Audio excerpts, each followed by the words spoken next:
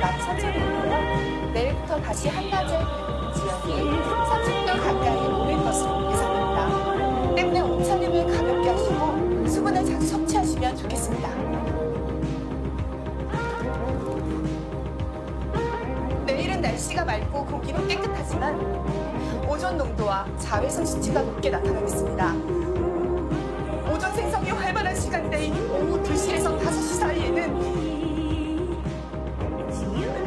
외출을 자제하시는 게 좋겠습니다.